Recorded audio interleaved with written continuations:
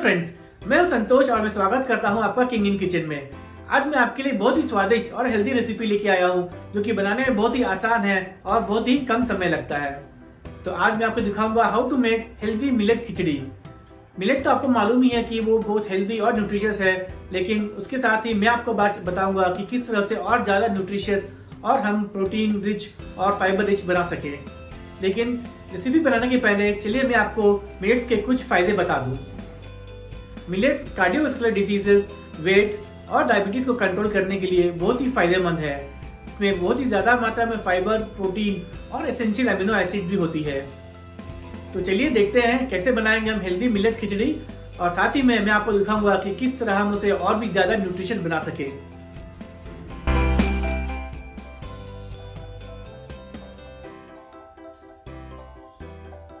तो दोस्तों, healthy millet खिचड़ी बनाने के लिए हमें चाहिए एक कप मिलेट यहाँ मैंने एक लिटिल मिलेट यूज़ किया है। आप चाहे तो कोई भी मिलेट यूज़ कर सकते हैं। फिर हमें चाहिए आधा कप मूंग दाल। इन दोनों को हमें दो घंटे तक पानी में भिगो के रखना है।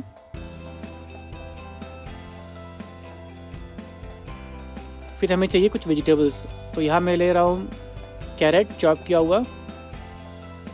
फ्रेश ग्रीन बीन्स तो भी हमें चॉप कर लेना है।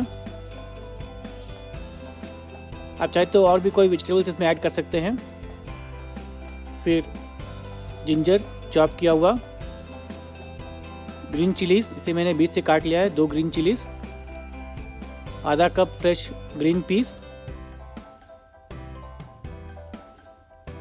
अब हमें सारे वेजिटेबल्स को कुक करना है तो पहले हम एक स्टॉक पॉट लेंगे। और उसमें हम डालेंगे अराउंड थ्री टाइम्स ऑफ़ जो हमारा मिलेट्स और दाल है, उसका थ्री टाइम्स हम पानी लेंगे। और मैं यहाँ कुकर में इसके नहीं पकाऊँगा, क्योंकि कुकर में इसका फाइबर और न्यूट्रिएंट्स लॉस हो जाएगा तो इसलिए मैं इसे कोई भी एक स्टील में आप स्टील के बर्तन में आप पका सकते हैं। तो हमने पानी डाल लिया थ्री टाइम्स और फिर इसमें हम डालेंगे वेजिटेबल्स फिर हम डालेंगे एक teaspoon red chilli powder one four teaspoon हल्दी पाउडर, नमक स्वाद अनुसार।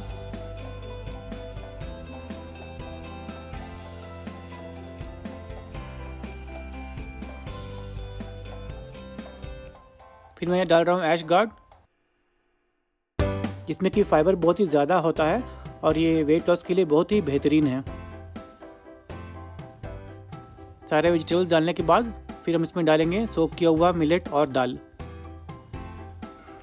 क्योंकि मिलेट और दाल में फाइबर और प्रोटीन बहुत ही ज़्यादा होती है, इसलिए ये ब्लड शुगर लेवल को कंट्रोल में रखता है और डायबिटीज़ के लिए ये बहुत ही लाभदायक है। फिर हम इसे बंद करके 20 मिनट तक पकाएँगे और मैं यहाँ पे हीट एकदम कम कर दे रहा हूँ।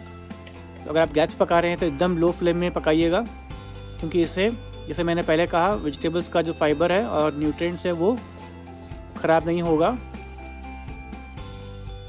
और इस वेसल की खासियत यह है कि इसका जो लिड है, वो एक स्पेशल लिड है, वो इसके न्यूट्रिएंट्स को लॉक कर देता है। आप देख रहे हैं किस तरह ऊपर में एक वाटर सील फॉर्म हो गया है। तो इससे ये न्यूट्रिएंट्स को ऑपरेट होने से बचाता है। तो बीस मिनट हो गया, अब हम डालेंगे इसमें टोमेटोज़ तो हम टोमेटोज़ पहले नहीं डाल रहे क्योंकि अगर हम पहले डालेंगे तो ये पूरा गल जाएगा। तो हमें इसे पूरा गलारा नहीं है, इसे थोड़ा क्रंची रखना है। तो टमाटो डालने के बाद हम इसे और पाँच मिनट कुक कर लेंगे।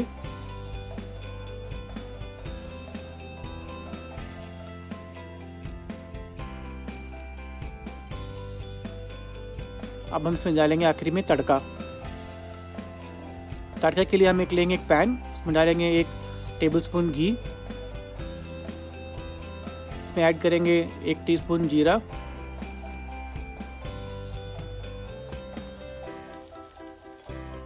फिर हम डालेंगे लहसुन। लहसुन को हमने छोटे पीसेस में काट लिया है।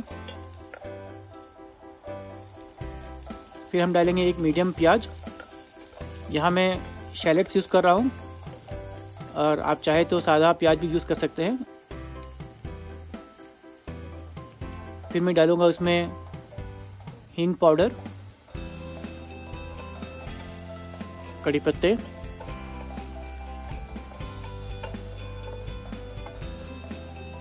जब प्याज अच्छी तरह पक जाए तो उसे हम ऐड कर लेंगे कुक किया हुआ मिलेट और दाल के साथ।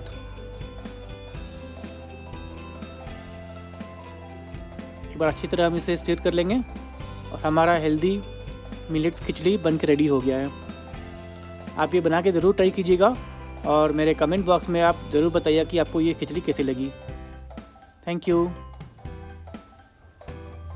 So, if you're looking to lose your weight without compromising on the food and taste, then please join the Mission Slim Possible WhatsApp group by clicking on the link given in the description box below.